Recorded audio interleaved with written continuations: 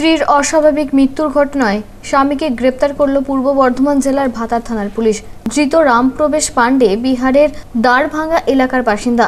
তিনি ভাতারের নর্জার একটি কাগজের কারখানায় কাজ করেন। ভাতার বাজারের সারদাপল্লী এলাকায় ভাড়া বাড়িতে থাকতেন। রবিবার ভোরে বাড়ি থেকে তার স্ত্রী রমা পাণ্ডের ঝুলন্ত মৃতদেহ উদ্ধার হয়। নিহত রমা পাণ্ডের বাবা চিত্তরঞ্জন মণ্ডলের অভিযোগ, স্বামীর অত্যাচার সহ্য করতে না পেরে গলায় ফাঁস লাগিয়ে আত্মঘাতী হয়েছে। তার অভিযোগের ভিত্তিতেই পুলিশ রামপ্রবেশ পাণ্ডেকে গ্রেপ্তার করে। ধৃতকে সোমবার বর্ধমান আদালতে পেশ করা হয়। বাতার থেকে মনোজ কুমার মালিকের রিপোর্ট আনন্দ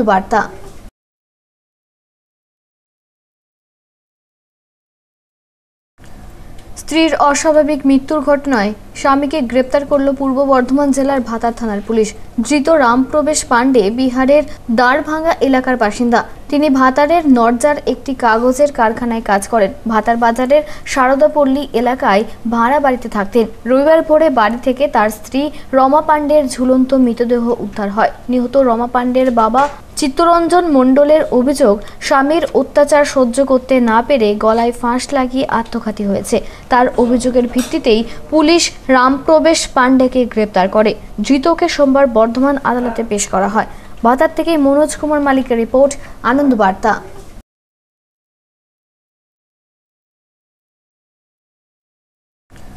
স্ত্রীর অস্বাভাবিক মৃত্যুর ঘটনায় স্বামীকে গ্রেপ্তার করল পূর্ব বর্ধমান জেলার ভাতার থানার পুলিশ।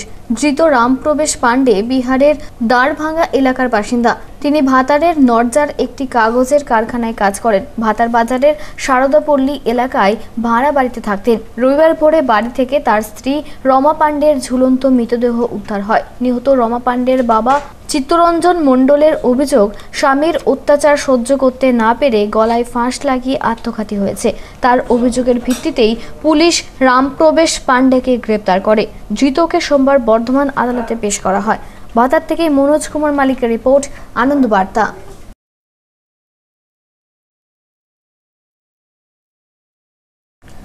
স্ত্রীর অস্বাভাবিক মৃত্যুর ঘটনায় স্বামীকে গ্রেপ্তার করল পূর্ব বর্ধমান জেলার ভাতার থানার পুলিশ। ধৃত রামপ্রবেশ পাণ্ডে বিহারের দাঁড়ভাঙ্গা এলাকার বাসিন্দা।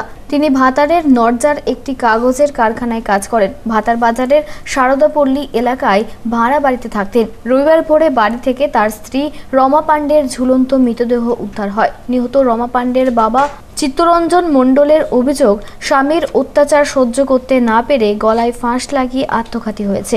তার অভিযোগের ভিত্তিতেই পুলিশ রামপ্রবেশ পাণ্ডেকে গ্রেপ্তার করে। ধৃতকে সোমবার বর্ধমান আদালতে পেশ করা হয়। বাতার থেকে মনোজ কুমার মালিকের রিপোর্ট, আনন্দ বার্তা।